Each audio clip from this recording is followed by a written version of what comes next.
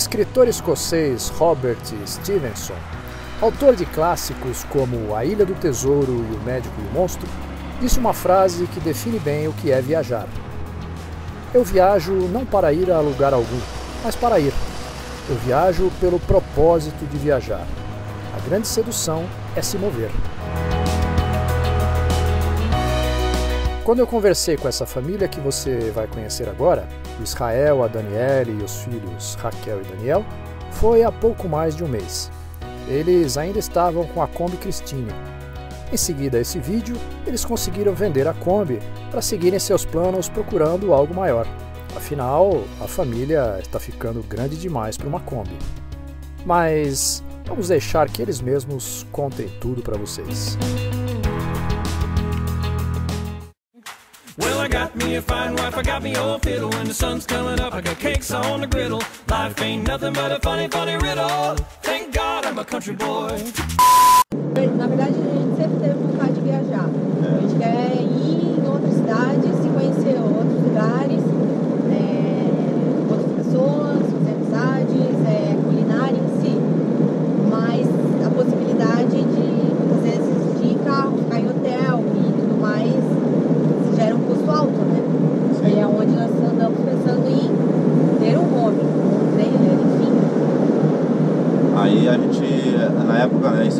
10 anos atrás, né, Isso. eu já queria comprar um trailer. Só que hum, as condições na época eram bem menores, né? E a gente acabou abandonando a ideia, né? Porque era muito caro e tudo mais. E há uns 4 anos atrás voltou de novo essa vontade de ter um veículo né, recreativo para poder viajar com a família. Aí voltei com a ideia do trailer, mas não deu certo por causa do custo também. Motorhome nem pensar, né? Porque o motorhome é muito caro. Foge muito, né? é, foge muito da nossa realidade. E aí a gente conheceu um amigo nosso que estava aqui em Joinville, que é o Otaviano e a Vanessa, vivendo o mundo afora, né? Eles estavam saindo de viagem com a Kombi deles. Aí eu falei pra Dani, mas com uma Kombi, né? Pensei, Como é que é o com a como é que seria uma Kombi, né? A gente foi lá ver. Aí a gente foi na, via... na, na despedida deles. Aí a gente viu que era viável ter uma Kombi e poder viajar e curtir um pouco desse mundão aí afora. Na época a gente não tinha Daniel, era só eu, a Dani e a Raquel. Aí a gente foi atrás da Kombi, né? Compramos a Kombi e mandamos fazer nosso motorhome. Saiu um custo bem mais baixo para nós do que um motorhome grande, né? E do que um trailer novo. Então foi aí que a gente começou fazendo essas viagens, pequenas viagens, né? E começamos com o nosso canal. E hoje estamos aqui, viajando. Pessoal, meu nome é Israel, Eu sou a Daniele. a Ra- a Raquel e o Daniel. Eu trabalho com TI, informática, a Dani trabalha com contabilidade e a Raquel e o Daniel estudantes. Nosso canal no YouTube chama-se Voo de Kombi Christine. O pessoal pergunta muito por que, que é voo, né, de voar. Porque que acontece? A gente queria fazer uma coisa diferente. A gente vai viajando, conhecendo os lugares e filmando com o nosso drone. Então é voo, né?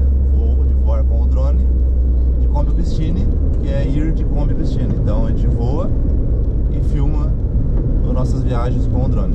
E Cristine é porque o no- o nome da Raquel é Raquel Cristini. Então ficou Cristini. Por isso É. que é o nome da Kombi. É em homenagem à Raquel, né? Mas é Raquel. Essa gatinha, a gente colocou como Christine em nome da Kombi. As viagens que a gente fez que mais chamaram atenção, acho, né, que foi mais interessante pra nós. Ah, É, todas as viagens todas são as legais. né? viagens são legais. Sim. Desde que tu tá com a tua família fazendo o que Sim. gosta, curtindo a vida, é, não tem viagem ruim. Existem as viagens com mais perrengue, perrengue, né? Isso. Mais difíceis. Mas todas são boas. Mas a viagem boa que a gente fez foi pra a Serra do Rio do Rastro, né? Isso. Uma viagem muito legal. Só que deu perrengue. Deu perrengue, né? Perrengue gente fala que a Kombi faltou freio na serra. Tá todo no nosso canal. Se for no nosso canal lá, vocês vão ver nossos perrengues. É, Também pra São Paulo, né? Interior de São Paulo, que foi uma viagem bem longa. foi longa. Cansativa, mas uma viagem muito legal. Conhecemos bastante gente legais. É, conhecemos muitos lugares novos, tipo cachoeira, rios, praias. A praia da Daniela em Florianópolis. Florianópolis.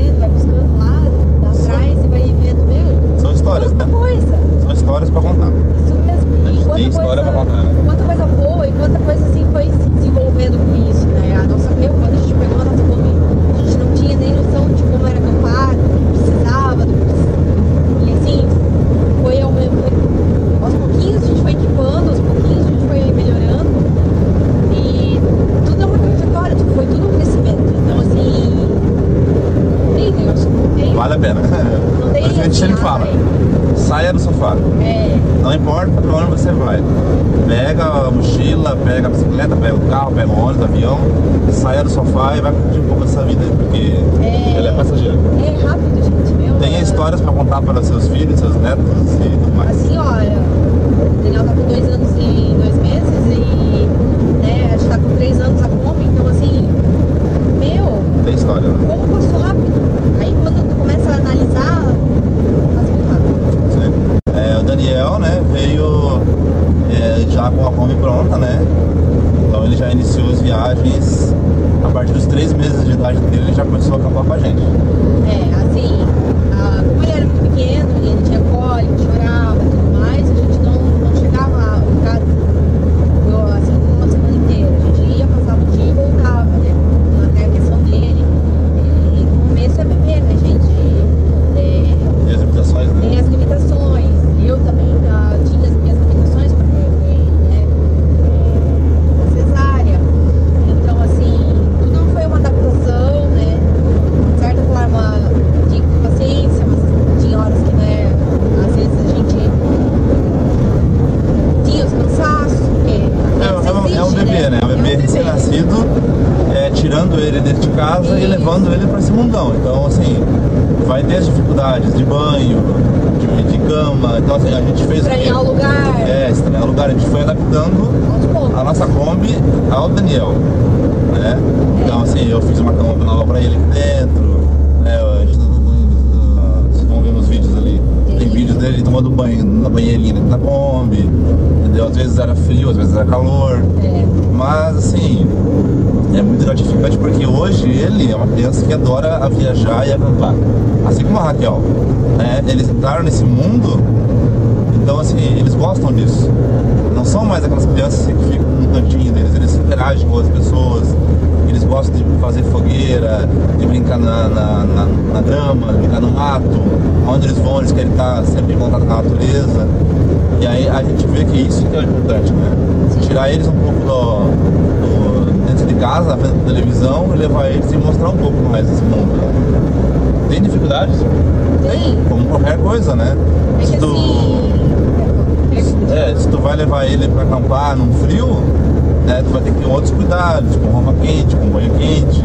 Se é no calor, é, inverte, entendeu? Mas você vai ter aquele cuidado, né? Sim, a questão do cuidado a gente sempre teve, né, com ele, com ela, tudo. E, mas assim, a gente, na vida é isso, não vai ter sempre mil maravilhas. né? sempre vai ter os prós e os contras em tudo que a gente for fazer, em todas as tomadas de decisões. Só que aí vai de ti a, a cabeça que tu vai ter de, de ver aquilo, né? Se vai ser pelo lado bom ou pelo lado ruim, né? Se vai encarar da melhor forma ou não. É. Então, assim, é, a gente foi se adaptando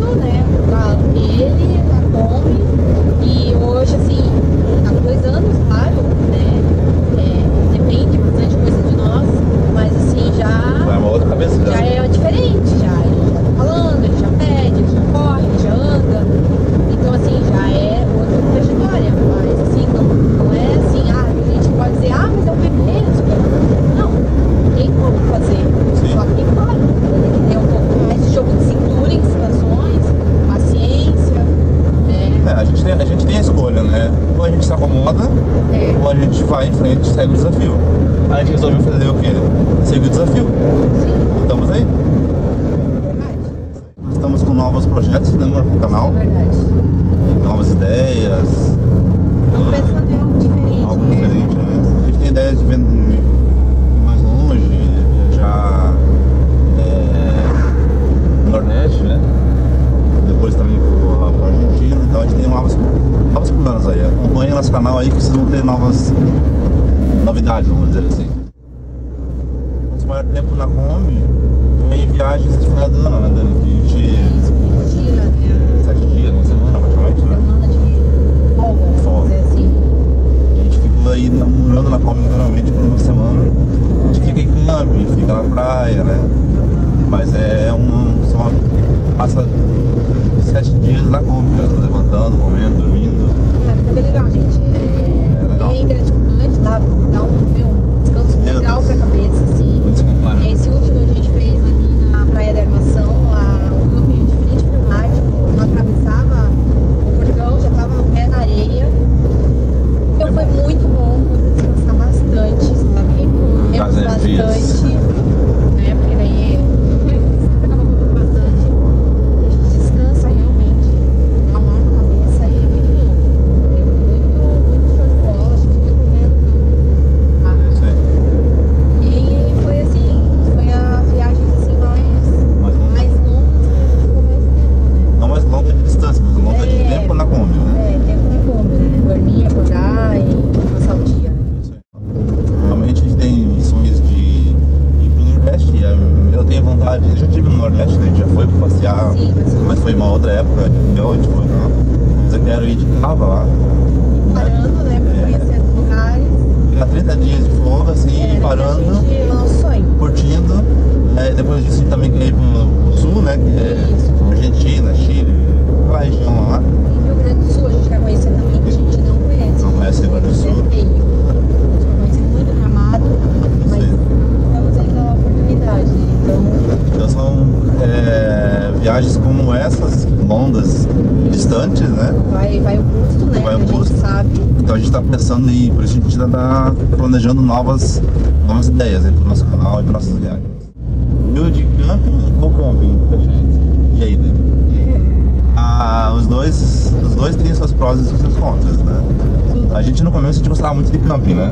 Isso. Hoje em dia eu, né, eu prefiro o de camp. Mas nada como um bom camp com estrutura, né? Então a gente gosta dos dois. Porque se a gente tem a oportunidade de fazer o de camping num lugar legal, uma paisagem bonita, num, num lugar é, bonito, né? A gente faz. Se tiver um camping bom, bonito e barato, a gente faz também. Então a gente é aberto às duas opções. Não tem uma preferência assim, ah, eu amo só o de camp, né? É claro que o campo, É que- campo selvagem tu tá mais, liber- é mais liberdade, tu pode fazer uma fogueira onde tu quiser, tu pode, né? É, e tem a questão do custo também, né? Às vezes é. Depende do valor, Sim. cada um sabe do bolso, É. né? Então, às vezes pesa, né? Mas o camping, de certa forma, também. Tem camping que te dá uma estrutura boa também, mas tem algumas vezes que não te dá aquela estrutura que precisa. Então, é muito, é- varia muito, relativo, né? É muito né? relativo. Relativo. É só tu indo pra tu realmente ter uma noção, né? Sim. Como é que funciona, né? Então é isso aí, pessoal. A gente agradece muito aí, ó, a família trailerando por aí, né? E a gente conhece, eu conheci conheço pela internet ainda, né? Não conheço pessoalmente. Mas é legal fazer esses vídeos colaborativos que a gente pode estar agregando algo mais pro meu canal e pro canal deles também. Obrigado por fazer parte dessa família de viajantes. É isso aí, siga o nosso canal, siga-nos nas redes sociais, Facebook, Instagram, mesmo. YouTube. E é isso aí, vamos viajar. Não importa a forma, né? O importante é sair, da, sair de casa e pegar a estrada. É isso? É isso aí, gente. Valeu, muito obrigado aí. Obrigada aí,